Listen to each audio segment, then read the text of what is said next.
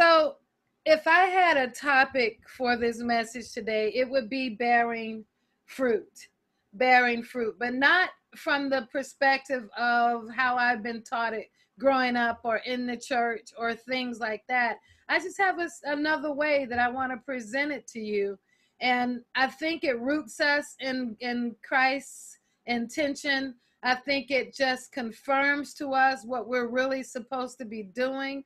And I pray that it just grabs your heart and that it causes you to think about what you're doing, what you're saying to people, how you're responding to them, how you're building, how you're loving, how you're interacting on the work uh, at at work. And for me, and I, you know, maybe this is not true for you, but the hardest thing I've ever had to do is learn how to love and learn how to forgive. And though and learn how to respect people or meet people that are hard to love. Um, and I know I've been a person that's been very hard to love, very difficult to get to know. And when I look at myself and I think about, but God was so merciful that He has allowed me to be around some amazing people. And I want to tell you, if, if, if you all were here in Atlanta, and I, all of you, some of you are, I am making no exaggeration in telling you that the people that the Lord allows me to connect with um, on, on just ongoing are really amazing people. They are loving people. They are earnest people. They are people that really have a heart for God, people that mean no harm. And I can say that for everybody that I've come in contact with that walks with me pretty closely in the School of the Scribe, as well as in the Scribal Conservatory. And sometimes when you look at those things, you just have to see, I, I, I count it amazing because we don't have, we have some, you know, every ministry has difficulties. Nobody is perfect.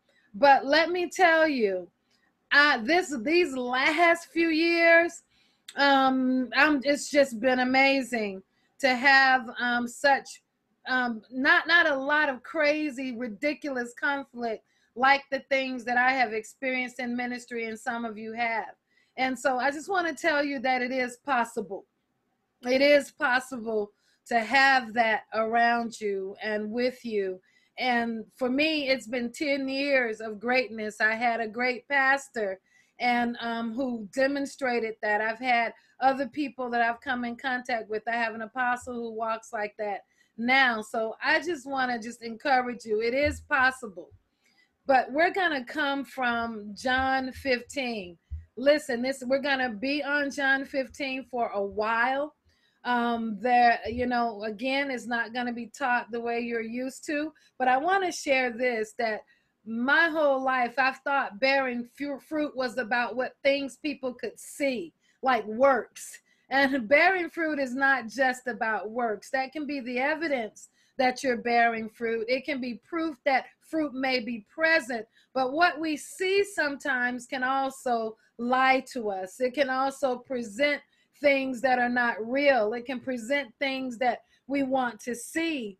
Um, so I want you to see that bearing fruit is more of a heart condition, is more of a position of the mind, a desire or a longing that's on the inside of a person. Um, you know, it's not things that people honor, like crowds, like um, degrees and certificates, like um, their knowledge. It's not is not necessarily those kinds of things. It's not power. It's not um, wealth necessarily. I mean, those things can be evidence of fruit and they can go along with things that are wonderful in your life. But I want to tell you too that bearing fruit isn't always pleasant. It's not always something that um, is going to yield necessary necessarily a result that that makes us jump up and down and scream and shout because bearing fruit can be forgiveness it can be you walking through something that is so so bitter and so so hard but you are making progress because you're going through it and you're coming out with the right response. So, bearing fruit can be about responding correctly to situations and circumstances. It can be about acknowledging where you are in your own legitimate walk with the Lord, where you can say, My God, I am still a mess. But that's not a, a word of condemnation. It's like I'm bearing fruit. I might be a mess, but this mess is not as bad as it was last month. This mess is not as bad as it was two months ago. Listen, some of the most painful and emotionally difficult times in my life have been the most fruit bearing times that I have ever experienced in all the days that I have been living. And I just want you to know that that fruit is not just the fruit of the spirit what's important is that what you produce has the spirit in it has the spirit riding over it because right now you know i i, you know you guys who you all who know me know that i like to produce a lot of stuff and i can't help it sometimes when you see me in overproduction mode I always know that i am in prayer mode Sometimes I have to set aside and write and write and write or draw and draw and draw or create or craft. I have to do things to help realign my life. And you can't always do that by having conversations, you know, and, and talking and just, I, you know, for me, I don't really process well like that. Not, not really well. So it's just, I'm sitting here this morning and I'm just shocked that God just starts talking to me about this. And I was complaining to my husband yesterday. I was like, I have nothing to do, and I wasn't feeling all that great. But there I was, um, just, you know, and I just, I called it a day, went to bed early, and just was like, forget it. Whatever you want to do, God, you do it. And so I'm ministering to myself as I'm ministering this message to you because being free of what I thought bearing fruit looks like and being free of what sometimes um, religion makes you believe bearing fruit looks like can be extremely, extremely filled with pressure. Extremely filled with pressure. Let's let's go to John 15 and walk with me. It says, um, "I am the true vine, and my Father is the gardener." He cuts off every branch in me that bears no fruit, while every branch that does bear fruit, he prunes so that it will be even more fruitful. Now, this is the part that I like right here. You are already clean because of the word I have spoken to you. Listen, I want you to just let that resonate in your heart right now right now. I'm going to say it again. You are already clean because of the word I have spoken to you. Now, it's important that you know that Jesus is talking to his disciples or his apostles. And I want you to see that he's building up to giving them some last words before he make that final journey to where he is going to be able to do more for us in the heavenly realm than he has already done on earth. One of the things that um, used to cause me to walk in such condemnation was that I could not recognize how I could have so much messed up in my life and God still love me. How is it that God is not looking at my trash, that He's not, but because, you know, that He's not looking at the mess that I am, that He is, and I, I just struggle with that so much. So this morning, while I'm sitting here, looking at what to do, I just heard the Spirit say, Go to John 15. And let me tell you, when I went to John 15, I wanted to cry. That one sentence began to cry out to me in a way that it never has before. And listen, then I got Matthew 7. Then I got John 13. The Lord just kept flipping me through scripture after scripture after scripture. So if we don't get here, all of it today, I want to make absolutely sure that John 15 and 3 is something you can take away in this moment. Now, listen, Christ, well, Jesus at this time, this was before he became the Christ. Jesus at this time was talking to those closest to him. He was he had his shepherding heart on. He was standing there with them and he said, and he's telling the people he loved, the disciples he loved, the apostles he loves, he's saying, You are already clean because of the word I have spoken to you. In other words, the Lord is telling them, He's saying, Listen, you accepted me and you believe me. Now, I want you to know that I believe that everybody that's listening to this message today believe Jesus. And I believe that you really love Jesus or you wouldn't be here. I believe that you've already received Jesus. And I believe that you already remember him in the context that makes sense to who you are. And this is what he, he, imagine being around a campfire. Imagine having dinner with the people that make up your most intimate relationships. And this is what the Lord is saying to those people in that group. He's saying, You are already clean because of the word I have spoken to you. We already know that the word washes.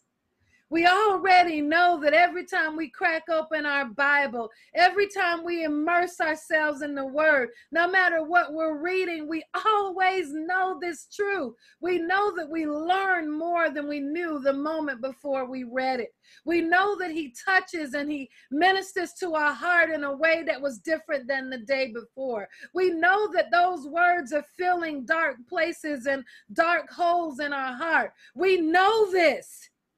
We know this. We know this. And I know that even in our places of inadequacy, that even when we're going through and we're doubting our calling and we're having mental anguish and we're being attacked on every side by family members and friends, and when we feel like people have abandoned us or don't understand us, God is yet saying, You are already clean because of the word I have spoken to you.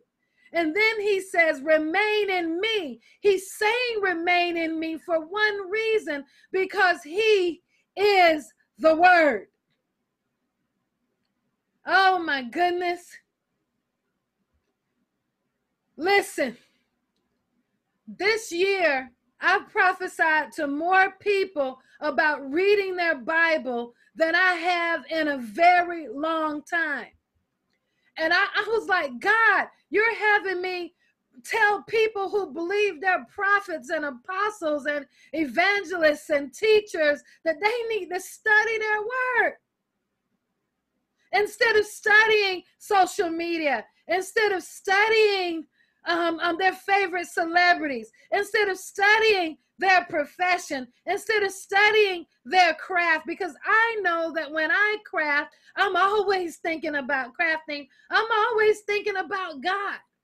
You know, I'm not just thinking about new techniques and how I can make this. God is in the conversation with me always and this remaining in him. And I, I, just believe that artists and creatives can tap into this easier and quicker because our gifts by, desi- by design meditate on who he is. He said, You are already clean. Already clean because of the word that I have spoken to you. What else does that mean to me? It means to me in this moment that when you're teaching people, when you're guiding people, and I want you to hear this, when you're leading people, we're supposed to be leading people with the word because the word allows us to remain in him. It's not just that the gospel is that what remains is the fruit of Jesus on the inside of us. Jesus fruit his fruit to forgive. His fruit to not hold offense. His fruit to put everything that is upsetting behind him so he can go to the cross. You are already clean because of the word I have spoken. I asked you a little while ago that we were going to have some homework, and I want you to read the Sermon on the Mount. Everybody believes they know what that sermon means. I've even tried to explain it to people, and they always go back to telling me what they think. Listen, we need to read the Bible again.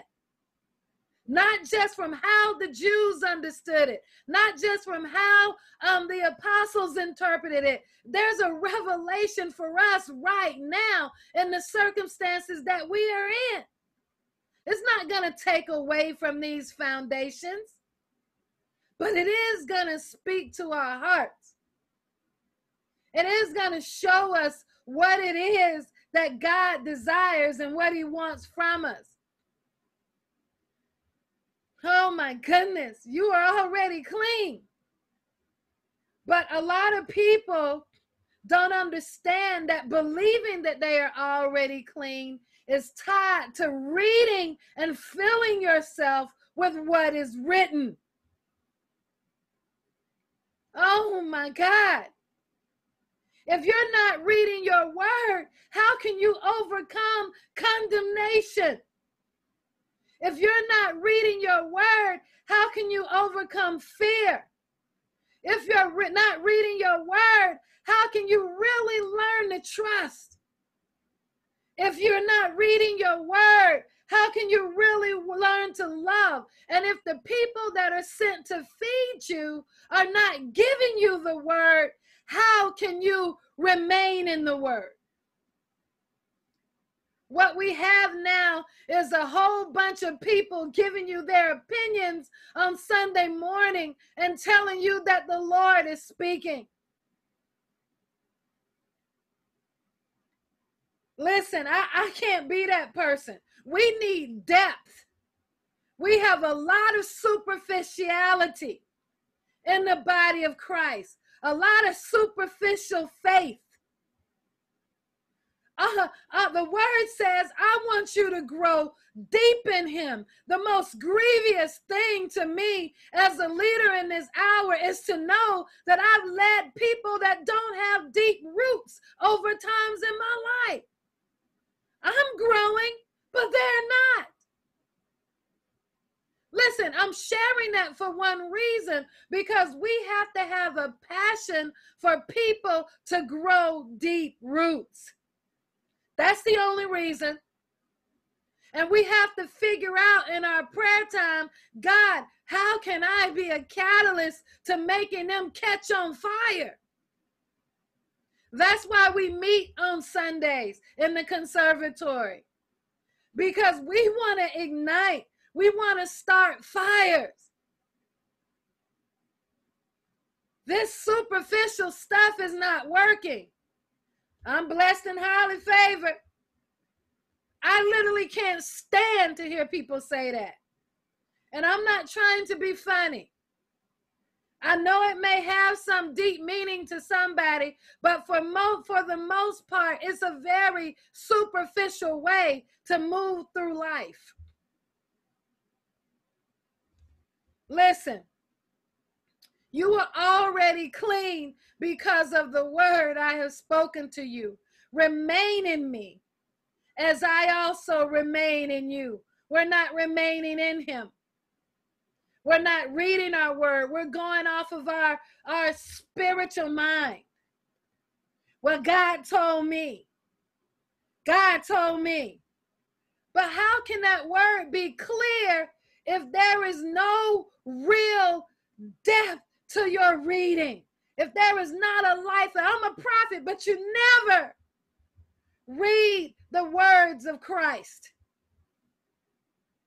And you flock to people that are giving you them instead of giving you Jesus.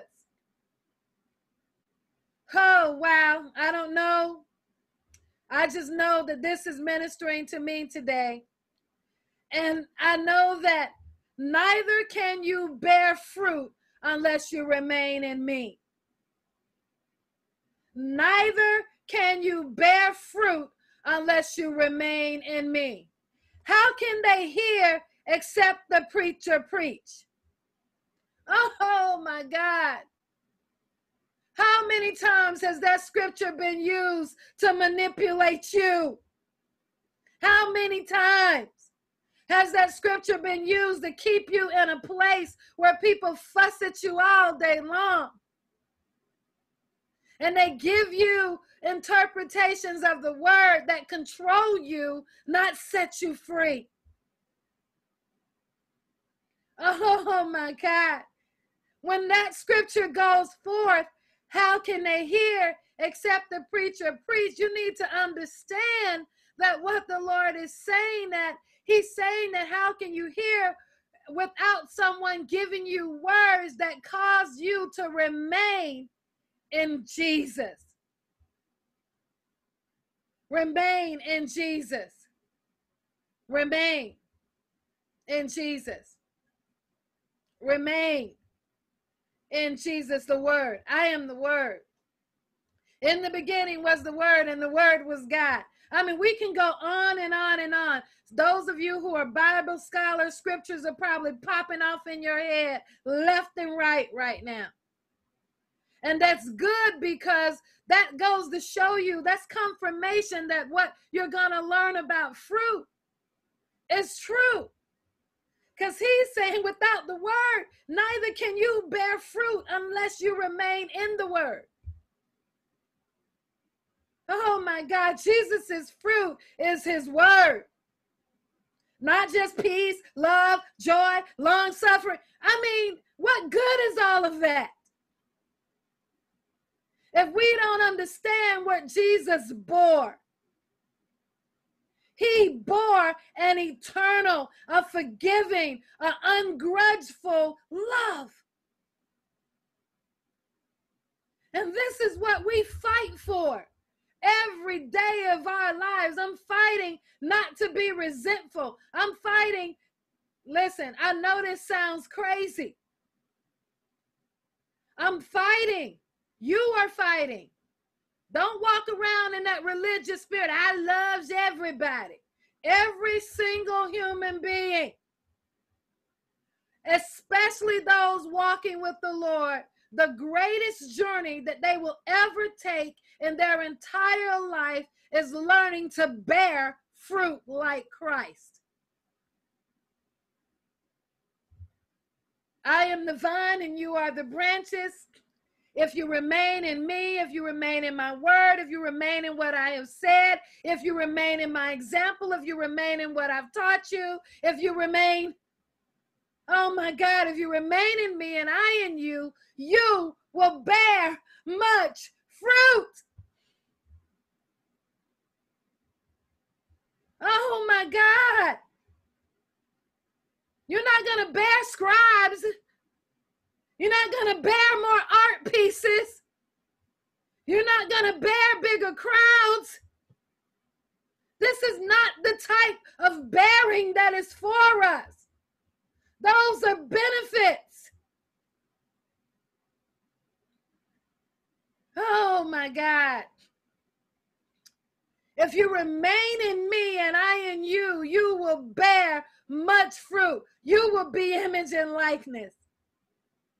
But apart from me, you can do nothing. If you do not remain in me, you are like a branch that is thrown away and withers. Such branches are picked up, thrown into the fire, and burned. If you remain in me and my words in you, oh, what? He just said it? Oh my God. If you remain in me and my words remain in you, ah, Oh my God. So, this is the prerequisite for really being blessed. This is the prerequisite for really maturing spiritually. This is the prerequisite for growth and for process and for going deep and for, because I'm telling you now, all that we are seeing, the fights, the anger at one another, the division because we have this uh, different opinions, the manipulation, the control we try to exude. Those things are things that must be thrown in the fire. Listen, he's not telling us to throw them in the fire. He's saying to us, look, these branches must go in the fire and they will wither because, you know, they will burn. If you remain in me, though, and my words remain in you, ask me whatever you wish, and it will be done for you. Let's let me tell you that we've been praying, ask whatever you wish, and I'm a son. I'm entitled. I'm entitled. I'm entitled. You're entitled. We're entitled to nothing except the cry for obedience that says, if you love me, feed my sheep. you know, feed them my word. Obedience is better than sacrifice. Oh my God. Well, if I'm going to answer this, ask whatever you wish. There has to be a place in my heart that wants to bear fruit, which is, listen, the word residing in you, living and breathing and manifesting in your words, manifesting in your deeds, manifesting in your actions, manifesting in your interactions, manifesting in your authority, manifesting in how you deal with the leaders in your life, manifesting in all these places. How are you walking it out? Manifesting in places where you say, God, I just want you to do what you need for me. I had to tell the Lord one day. I, I was raised up to believe that is if I if I am a believer, it is my responsibility to save everybody in my household. I was taught that. I was taught that my children had to be the ones that I saved first. I had to be the one that my children had to be the testimony of who I was. And that if that didn't happen, something was wrong with my fruit. Oh my God. One day the Lord said, All I need you to do is cry out to me and say, Lord, whoever leads them to Christ, whoever ministers to them, my only concern is that they know you. And I prayed for my children that they know you and live for you and know what it's like to be in your presence while it is day. That's what I prayed. And it took away the burden from me. It didn't, I let God decide how my children would come to him. And I just gave it to him. And I had a major, major thing happen earlier this week. And I was like, oh my God. But if you remain in me and I in you, you will bear much fruit. Apart from me, you can do nothing. If you do not remain in me, you are like a branch that is thrown away and withers. I have a question for you. And the thing is, how can we love God and not desire to love his written word? How can we love God and not desire to uncover and, and know everything we can about the God, the Christ of the scriptures, the Christ of the new covenant, the Christ. But I'm a prophet. But I'm a pastor. If you are one that does not even consider or have a burden or take the time to learn the word of God, that make this your moment to acknowledge that.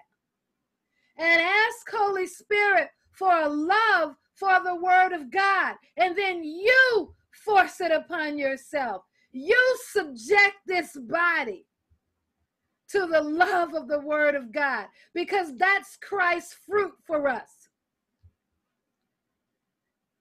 The more we know about him, the more we understand about him, the more we embrace and the more he's able to remain because him remaining in us simply means this. Every time Theresa thinks wrong the word of god is going to rise up and correct it. Every time i want to do something that i know i should not be doing the word of god is sufficient enough to remind me what christ wants so that i have the tools to resist the enemy and have him flee but what do we want to do? We want to reach out to people who are powerless to help us, except they give us what Christ gave. Listen, I hope this is making sense because we need to bear fruit. And the fruit that we need to bear is the word of God living and breathing in us. And understanding that every day we are growing into a place that He is becoming real, that He is becoming the living Word on the inside of us. There was this song that Fred Hammond used to sing called We Are the Living Word. And if I can find it before we get off, I'm going to play it for you that you are the living Word. We must stay in the Word. And I'm not saying read blindly. I know everybody is not a Bible scholar. But there has to be a place where there is a longing and a desire to know Him to the point where the Word can really wash. And I don't want this to be a religious message, but he said you're already clean because of the word I've spoken to you. Well, if you're not reading the word, then you won't know that you're already clean. You won't have word that can remain in you. Some of the thought processes of the people that are here right now are trash concerning themselves. And you need to say, God, I've been talking trash to myself. I've been tearing myself down. I've been beating myself up. I need to overcome this. Yes, I, I say the declarations. I make the decrees. I do this. But listen, as a son, as a son of God, nothing works more than the words that he has spoken. Nothing works more than the words that he has spoken. Even if you have to read your read your own scriptures to yourself and play them in your car. Oh my god. Because that is the fruit. That is the fruit.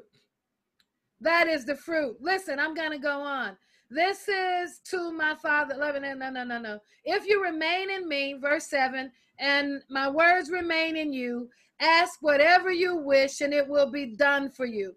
So we're praying for things without having a place for the word to remain. I'm not saying God is not going to answer you. He's a merciful God. I know how merciful He is. But what if your heart was equipped right?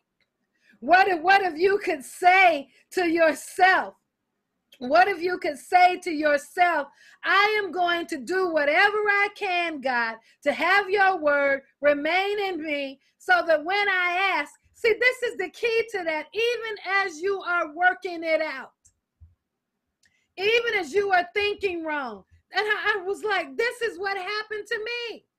I'm a person that has had no one, no mother, no father, nobody, nothing. It's just been me and my husband. In our worst moments, we have been alone.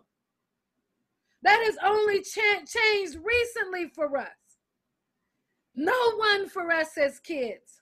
No one cared whether we lived or died. I was a kid that could leave my house and be gone three days and nobody would care and nobody would miss me. You can get lost in your head with stuff like that when people have mistreated you and have, have done you like dirt. And you realize I'm still not healed. I'm telling you, we have to be honest with where we are. You're always waiting for the next person to drop their shoe. But the Lord, He said this morning, remain in me. Oh my God. If you don't hear anything else I have ever taught, the only thing that will sustain us in the hour that is coming is the word of God. Us believing it. Believe that you are clean. No matter what that man did to you, believe that you are clean. No matter what your mom said, believe that you are clean. No matter what you have done, because God has forgiven you. He said here in verse 9, you know, he said, This is to my Father's glory that you bear much fruit, showing yourselves to be my students, showing yourselves to be my disciples. As the Father has loved me, so have I loved you. Now you remain in my love. We have to learn how to remain in God's fruit, how to remain in remain in Christ's fruit, how to remain in the Spirit's fruit. It's all the same fruit. I didn't mean to cry. I'm just apologizing. It's the Spirit. It's the Spirit moving in me as I preach to myself. It says, If you keep my commandments, you will remain in my love. Oh my God if you do everything that you can to keep my commandments. It's not that you be perfect, but that you do whatever you can to remain. When you've been alone for a long time and you've been the only one you can count on, a lot of you know what I'm talking about.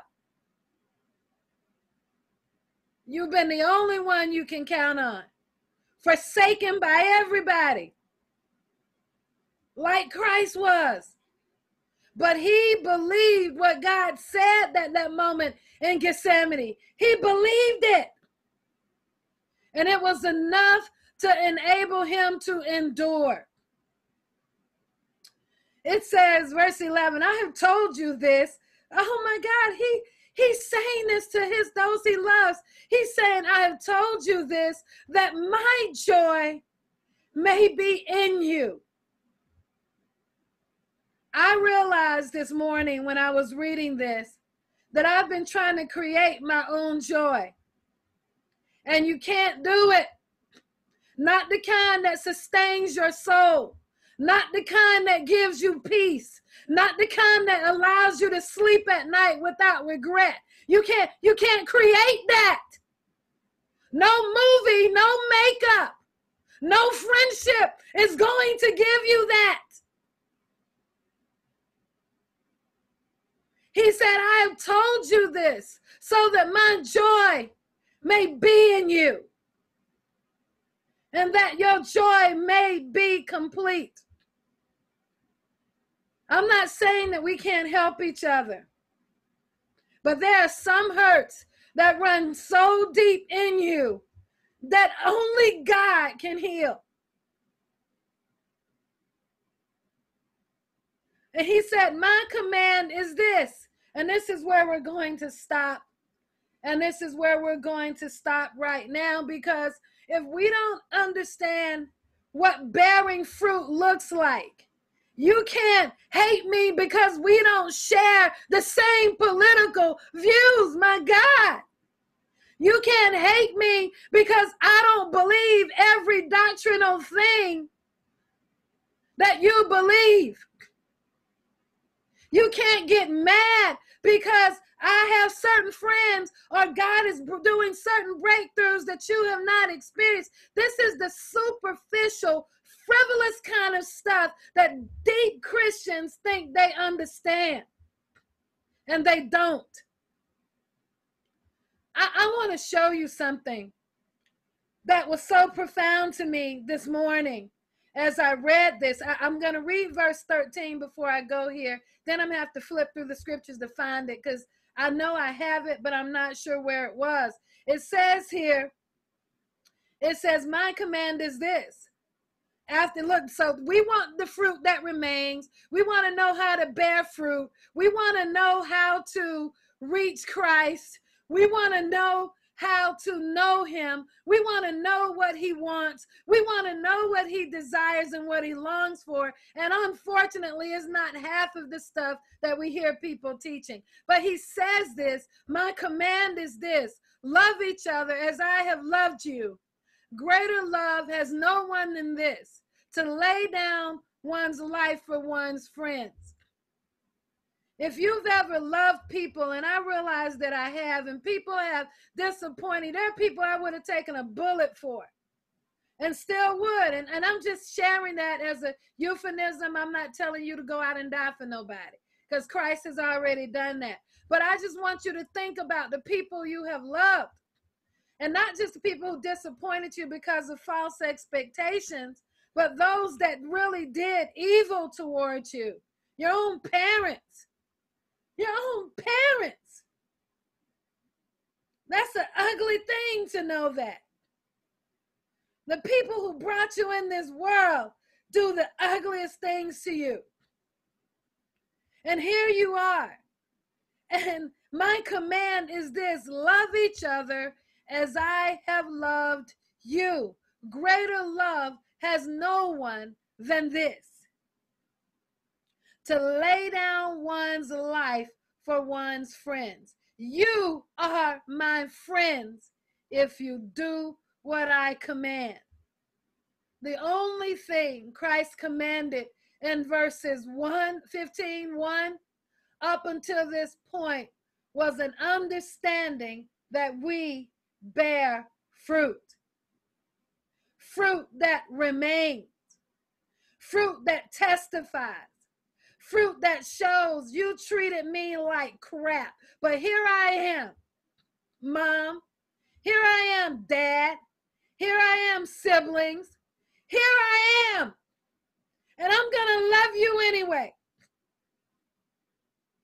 Listen, this is what God is asking us for.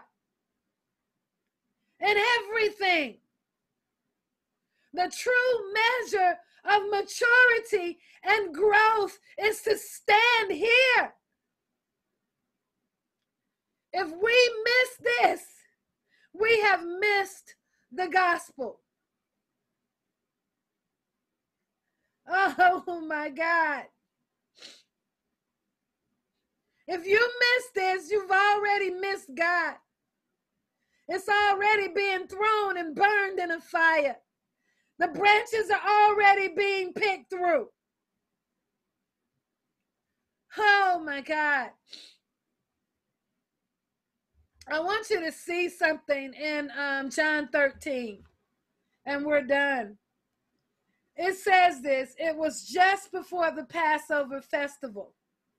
Jesus knew that the hour had come for him to leave this world and go to the Father. Having loved his own. Now, I want you to know that John 13, right here, he's not talking to the whole world here. He's leaving his best to those. Now, it's a message for all of us, but I want you to, when I study the Bible, I close my eyes and I'm like, God, let me see what I just read.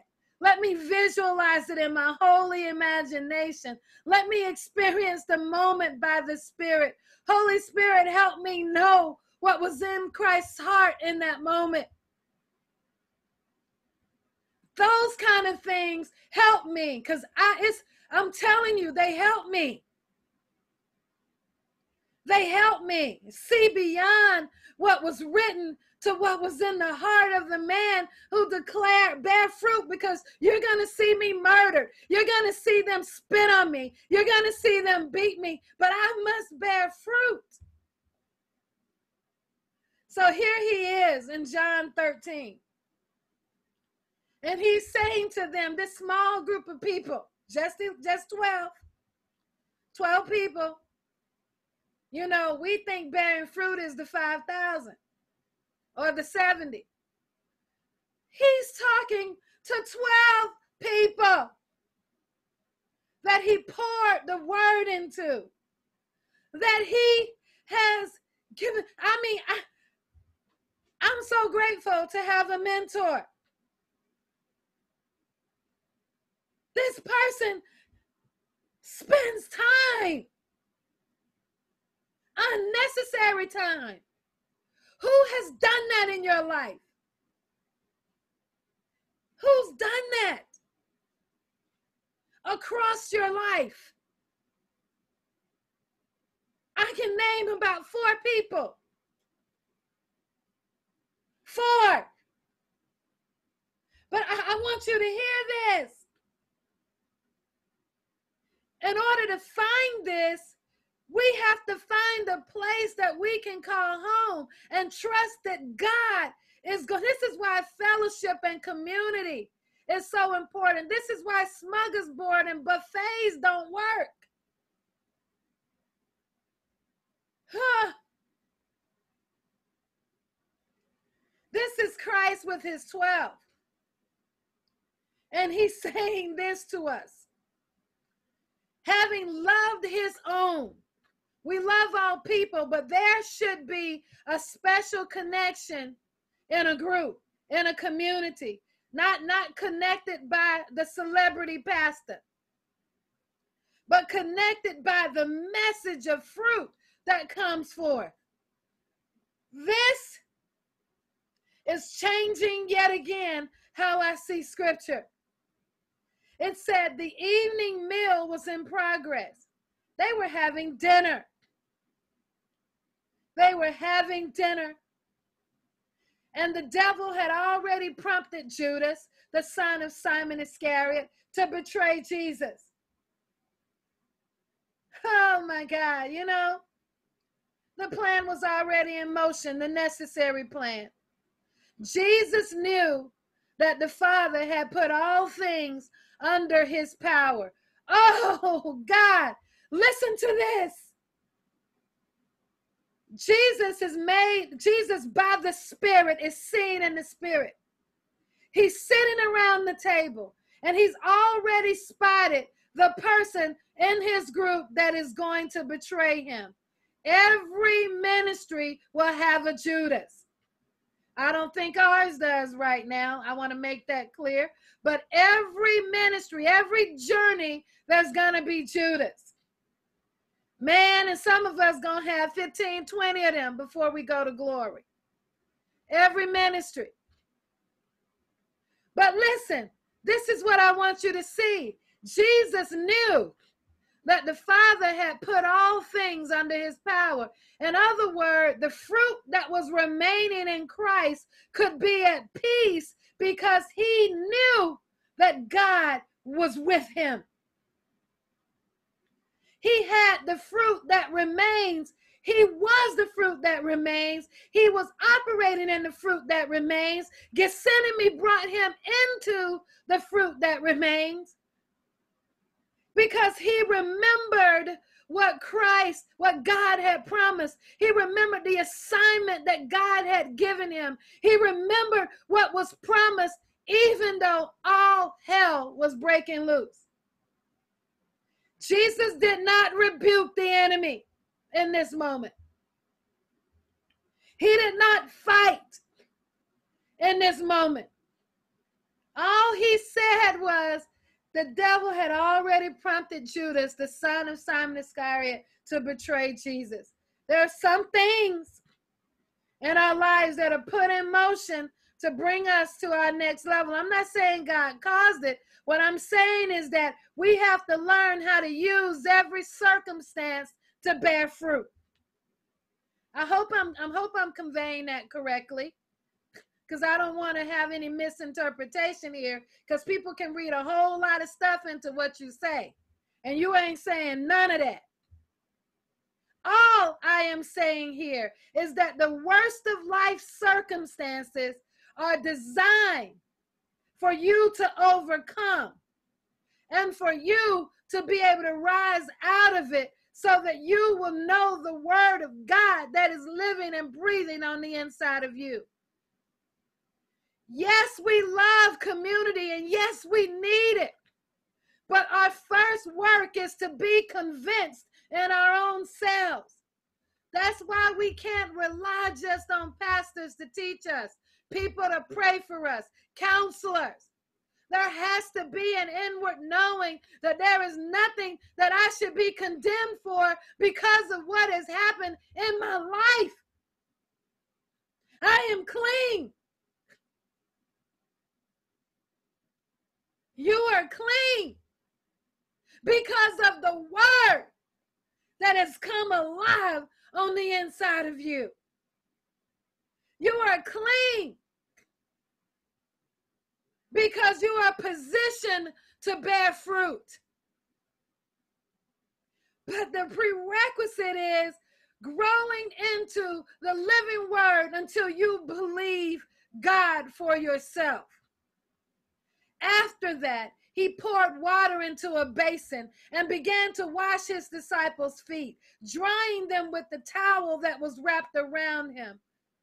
Listen to this. Listen to what he did. These are his 12. Jesus took off his clothes. He took off his clothes. He exposed himself to them, even knowing that the one who would kill him was there. He released himself into that presence. After having a meal with them, he put all things under God's power. The Lord wants you to put everything under his power today. Everything. He wants you to know that you came from him and that you will return to him. And that is equivocally undeniable truth because the word is declaring it. He wants you to wrap a towel around your waist. He wants you to be the one wrapping the towel around your waist. And he wants you to pour the water in the basin. I'm not going to fight you because of what you believe. I'm not going to fight you because of what you did 10 years ago. I'm not going to fight you for what just happened. Listen, I'm laying it all down. I know you, the devil, but I'm choosing not to hate you. Mama, dad, siblings, aunts, former pastor. Come on, I need y'all to agree. It's not just me, it's all of you. I'm laying it all down. After that, he poured water into a basin and began to wash his disciples' feet, drying them with the towel that was around his waist. And I'm not going to go into the Jewish understanding of the waist towel and the water. It's not important right now. But he came to Simon Peter. Oh my God, he already knew what Peter would do. He already knew what Judas would do.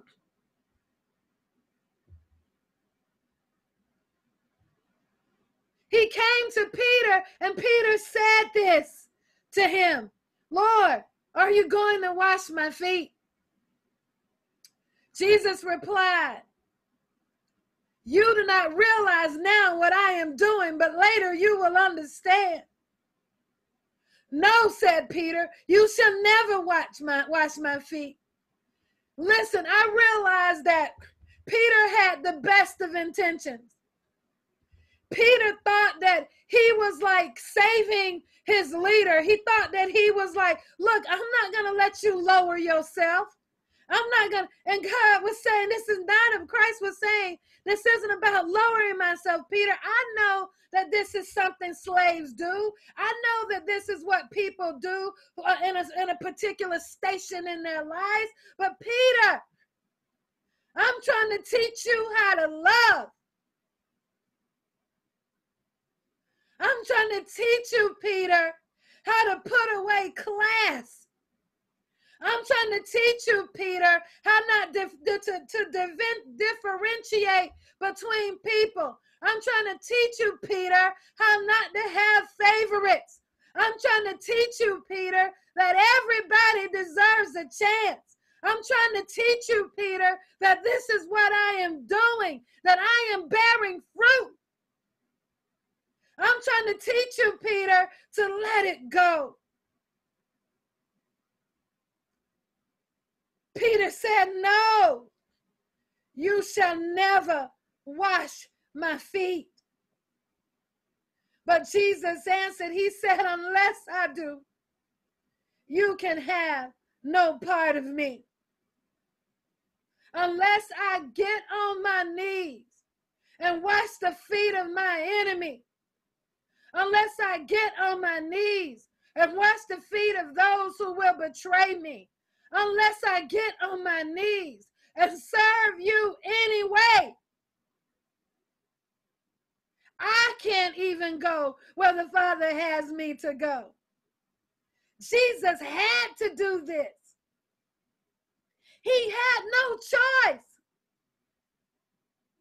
He was the living water, the bread of life, the fruit of us. Then, Lord, Simon Peter replied, because he understood in a moment. His attention shifted because his spirit began to align. He began to see and he began to receive. Oh my God. He began to receive. He began to receive. He said, Then, Lord, Peter replied, Don't just wash my feet, but my hands and my head as well. It's amazing to me how Peter was always the one that had the revelation that Christ laid at his foot. My apostle taught not too long ago that about how Peter understood that he was the, that Jesus was the son of the living God. Nobody else got that revelation, but Peter did. And here we see Peter sitting here, asked his own question and got his own revelation without the apostle even having to go into great detail. He was able to receive. The posture of the heart is the only thing God wants. Oh, Jesus.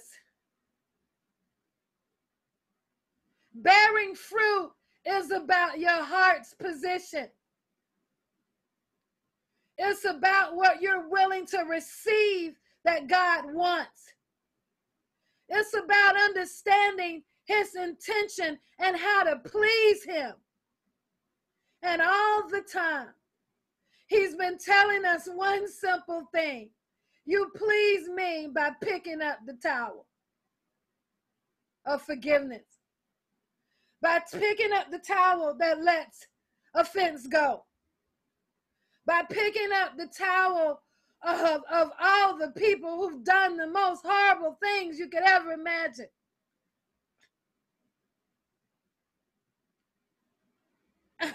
I, I don't I don't know. Unless I wash you, you have no part with me. Then the Lord said, in the Lord, then Lord Simon Peter said, not just my feet, but my hands and my head as well. I want to drown under the mentorship that I have. Because I have the real deal. I want to drown under the friendships and the relationships that I've built within the conservatory because, for the most part, they are real. But until I deal with some things, they can never be as real as they could be. Because this walk requires us to let everything go. That's my apostle just wrote when she's here. Wow. We have to have real immersion. Jesus said this. He said, Those who have had a bath need only wash their feet. In other words, just repent because you're already clean. You just got a little dirt on you. You just got a little bit of dirt on you. You're already clean. The word in you has made you clean, but you fell in the mud yesterday. Just get up, wipe the mud off, and it's all right. God, that's what he's saying here. But if we don't know the word, how will we know what he means? And you are clean. But then he said, though not every one of you, because he knew that Judas's heart was against him. And he knew that that heart was not going to change. That's how we know bearing fruit is never about what's on the outside. It's always about what's happening on the inside of you. I am done with superficial relationships. I'm done. I'm done with trying to make people want to be led or want to be with me. Now, y'all might not know, but sometimes as leaders, you're trying to do things, it's over. This is not to hurt anybody or anything. In order for this to happen, I have to put my towel at my waist right now. We need more of this in the body, not less. I'm not going to get on Facebook and share everything. I don't want everybody to see this. This is for those that are sitting and that are resting and that want to eat. These are for people open to receive, not swine. We have to learn what casting swine, pearls among swine looks like. Because I'm not doing that. Oh my God. Those who have had a bath need only to wash their feet. Their whole body is clean. And you are clean, though not every one of you. For he knew who was going to betray him. And that was why he said not everyone was clean. I'm not saying that. I don't feel that in the group. I'm just reading scripture. When he had finished washing their feet, he put on his clothes. He got dressed again and returned to his place. I'm going to be an apostle now. I'm going to be who I have to present to everybody else because they're not going to get this intimate moment with me. Those that are lurking around waiting to kill me, they're not going to receive this. But you, I, I, I, took off my clothes and I put my towel among my waist around my waist with you and I washed your feet. I even washed the feet of my enemy, knowing what my enemy was going to do. And then he says to them, Do you understand what I have done. Father, I just thank you today for this message, and I thank you for the grace that you've given me to present it. I thank you, Father, that I'm not alone. I'm not alone. The rest of my life does not have to be how the first 35 years of it was. Father, I pray that others here can receive that also that they understand that I don't have to be alone, that there are people who really care about me and it's real. It's not fake. It's, it's, it's not, when my mother and my father forsake me, you, God, will lift me up. And he says, I put the lonely in families. And some of you are very lonely right now. And I just pray that if this is your family, that you find it. I pray that if there is a, if you are open and if you are willing to trust again, it doesn't matter that you're not in this state. This distance has no prerequisite to love. I just pray that you find what it is that God has for you, that you know it and that you can experience it. Because I don't think there's anything worse in the world than not being loved, not being wanted, And our parents, if they do that to us, the hurt is profound.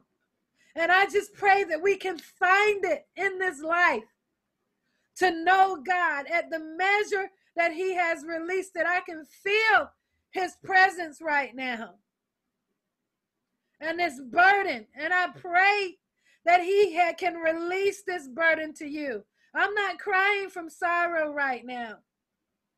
I'm not. This is just more healing, and I will be healing for the rest of my life. I can't control my tears. Y'all who know me know without a shadow of a doubt that I would never do this, but I have no control over it. And so I just say to you, receive God. My my homework assignment for you is this. Read Matthew 5, 6 and 7. Stop being lazy. Know the God of the word so that you can differentiate between these hirelings that are all around us in this hour. Differentiate between them. I don't have a hireling as a mentor. I don't. And I know it. And I, I just, and I pray that some of you who are close to me know that you don't have one either. But the only thing that's going to get us through this season is that kind of relationship with God and with one another. That's why that's the greatest commandment. I just can't afford to be fighting with people about this crap anymore.